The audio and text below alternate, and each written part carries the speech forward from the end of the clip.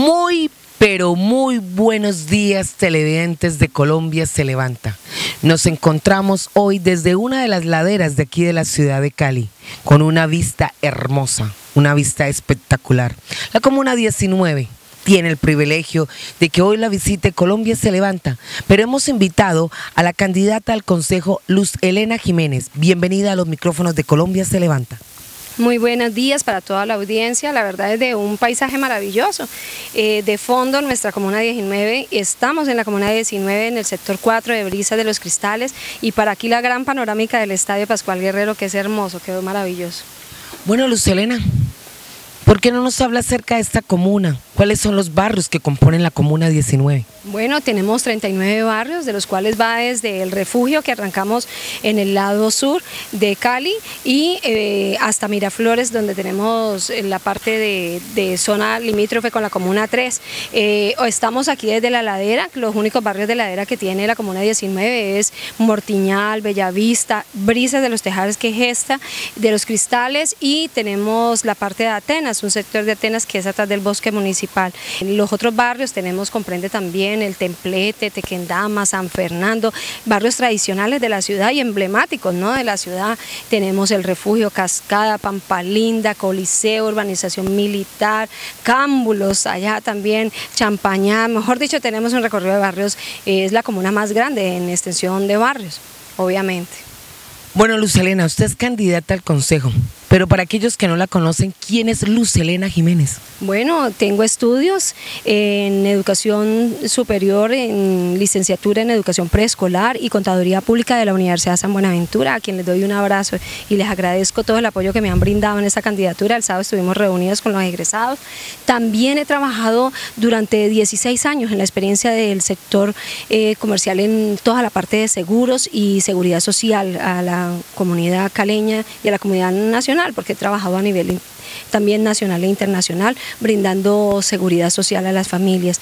Eh, también la verdad que en, dentro de la trayectoria que he tenido en cuanto a la labor social que he hecho, desde muy niña lo he hecho eh, con mis compañeras del colegio, con mis compañeras en la universidad, donde íbamos a los, al hospital departamental, al área de quemados y al área respiratorios, visitábamos los niños y la verdad que es una labor hermosa la cual recuerdo y llevo en mi corazón. También visitábamos las zonas deprimidas allá en Mariano Ramos, por ejemplo, dejamos hecho con todos mis compañeros de trabajo en Colmena Seguros esa mm, eh, institución, Nuevas Luces, allá estuvimos trabajando fuertemente. Mejor dicho, cantidad de cosas a nivel social. Soy muy dedicada a la casa, eh, comparto con mis padres, con mis hermanas, eh, claro que yo ya tengo varias en el exterior, dos de ellas en el exterior, en Australia y en Estados Unidos. Me encanta cocinar, la gastronomía, me encanta aprender los platos y me deleito, me recreo con eso invitando a mi familia y a mis amigos.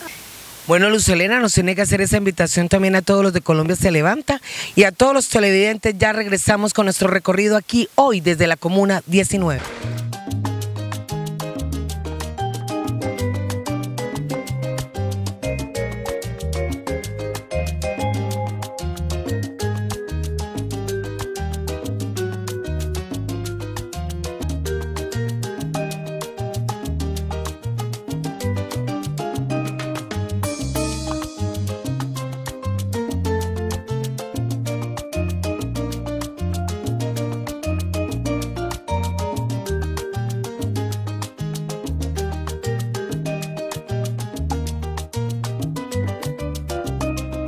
Bueno, televidentes de Colombia se levanta, siguiendo con nuestro recorrido aquí en la Comuna 19, nos encontramos en este momento en la estatua de Belalcázar. ¿Por qué no nos habla acerca de esa labor que usted ha venido realizando aquí en la estatua?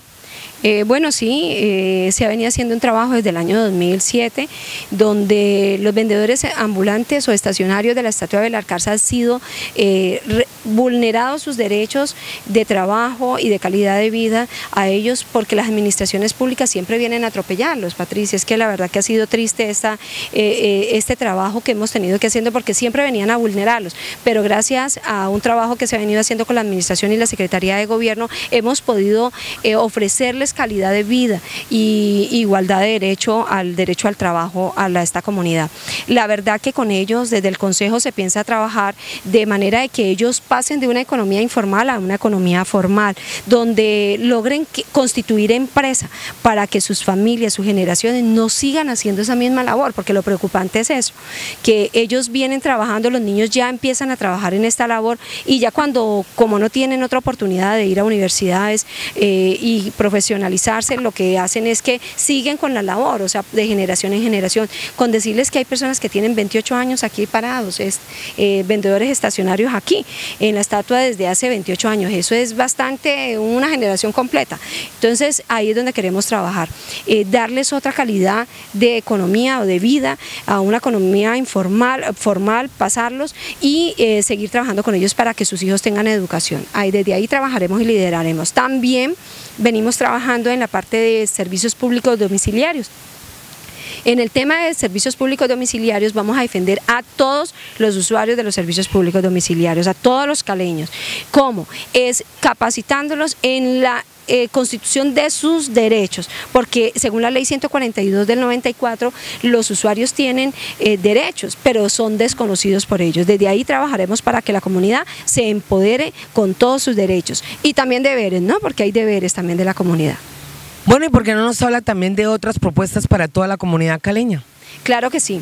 Vamos a trabajar también sobre la red hospitalaria. El recurso de la red hospitalaria debe llegar y debe ser en forma eficiente, aplicada en forma eficiente y continua, porque resulta que es que el presupuesto no llega y ahí vamos a hacer control político.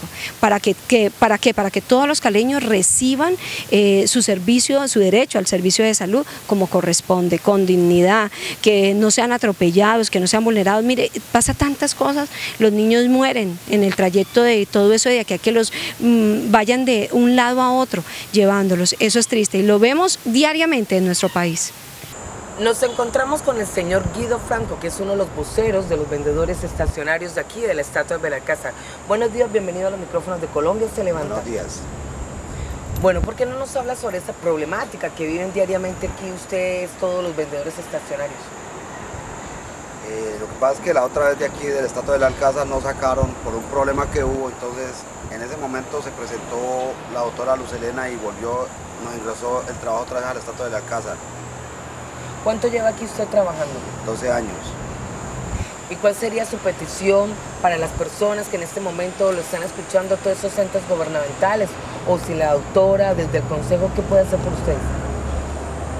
Eh, lo que buscamos es que siempre la doctora siempre nos siga ayudando como siempre nos ha ayudado, porque siempre, siempre nos han venido a atacar aquí con el camión y a humillarnos que nos van a quitar todo el sustento de trabajo de todos los, de yo, del trabajo mío y todos los compañeros.